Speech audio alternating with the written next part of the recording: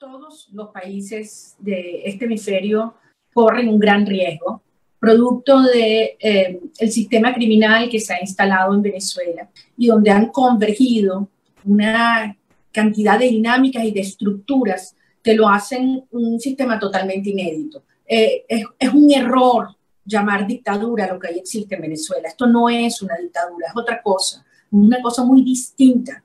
En el país se han instalado desde grupos del crimen organizado internacional, el narcotráfico, de lavado de dólares, de extracción ilegal contrabando de minerales, de personas, de combustible, de cuánto producto te puedas tú imaginar, y también se han instalado grupos del terrorismo internacional.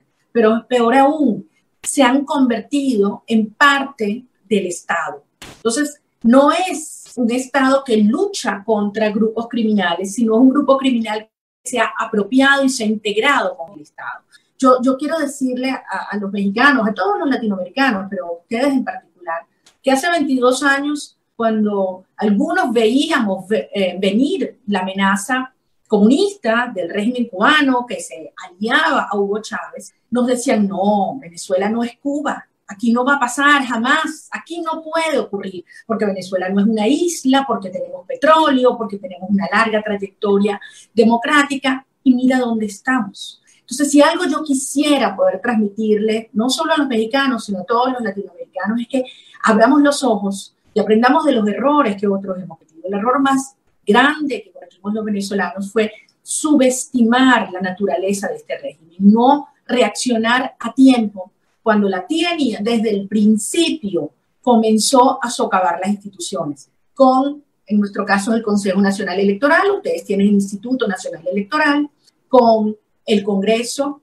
con el Tribunal Supremo de Justicia, que son instituciones que había que penetrar, socavar, controlar y desde luego con los medios de comunicación y progresivamente con todos los demás sectores de la sociedad. Chávez con eso y con la asesoría cubana entendió que controlando el sistema judicial iba a poder eh, imponer progresivamente eh, una pseudo legitimidad a cambios incluso en la Constitución que le permitieron, bueno, la reelección indefinida, el tema del referendo revocatorio y otros mecanismos que lucen participativos, pero que en el fondo son estrategias, operaciones, maniobras para eh, debilitar la institucionalidad democrática y quedarse en el poder. Y una vez que están allí, Jorge, créeme, es muy doloroso sacarlo, porque los vínculos con el narcotráfico, con todos los, los, grupos irregulares, y en el caso de Venezuela, incluso el terrorismo islámico,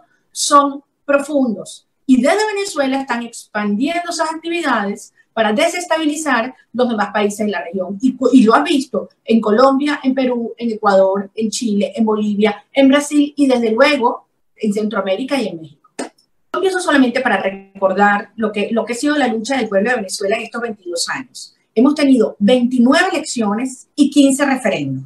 O sea, no es que no se ha recorrido la vía electoral, pero adicionalmente cada vez que ha habido un momento de tensión, de presión ciudadana interna, de protesta con un altísimo costo en vidas y en represión, y que se ha acompañado una fuerza externa, el régimen ha montado una operación tramposa de diálogos y llevamos 12 diálogos, 12 episodios de diálogos, Jorge, y todos han terminado igual porque el régimen siempre ha tenido el mismo propósito, que es engañar a cualquier costo, porque como en la lógica criminal, tú lo que tienes es que ganar tiempo, así sea un día, dos días, tres días. Adicionalmente, piensa que en Venezuela el saqueo se estima que ha sido más de 500 mil millones de dólares. Imagínate todo el dinero que esta gente se ha robado, saqueado el país y que usa parte de ese dinero para penetrar las distintas estructuras y los sectores de la sociedad, los medios de comunicación, el sistema financiero, las iglesias, las universidades, las ONGs y por supuesto los partidos. Y en todos los partidos políticos, independientemente de su, digamos, su, posición doctrinaria, ideológica, hay gente honorable y hay gente que genuinamente quiere sacar a las mafias del poder. Pero también en algunas de estas organizaciones políticas el régimen ha logrado cooptar. y ha logrado quebrar. Y hoy nos hemos dado cuenta, a medida que se han ido destapando escándalos y que actores que eran dirigentes de importancia en algunos de estos partidos, nosotros lo llamamos en, en, criollo venezolano, espero que no sea mala palabra en México, saltar la talanquera, brincar la talanquera. Eso significa que se quitan la careta y demuestran que han estado siempre comprados por la tiranía.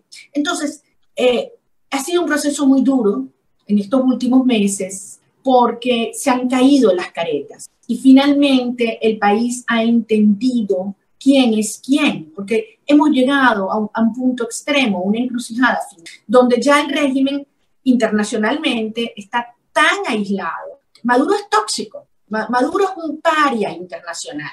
Eh, ni López Obrador le gusta mucho acercarse ni tomarse fotos con Maduro, ni atenderle el teléfono. ¿Qué le quedó a Maduro? Irán se echó en los brazos de Irán, en los brazos de Hezbollah, en los brazos de Rusia. O sea, eso es lo único que le queda a, Maduro. A lo interno, el país no está dividido.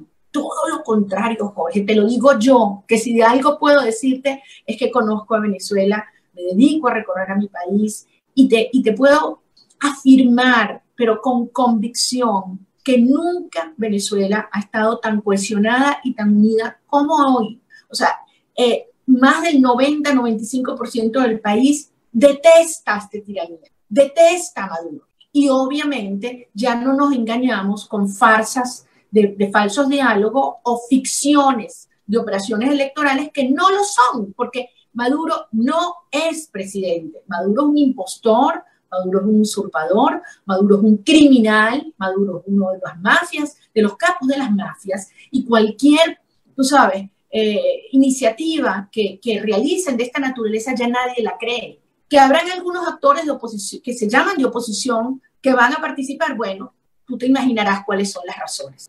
Ahí hay de todo, extorsión, miedo, presión, intereses, dinero, todas las anteriores. Yo no, yo no voy a, a especular, pero lo que sí te puedo decir es que ya nadie, ni dentro ni fuera de Venezuela, cree en esa farsa y por lo tanto no creo que va a tener efecto alguno en términos de la legitimidad de Maduro. Todo lo contrario, todo lo contrario.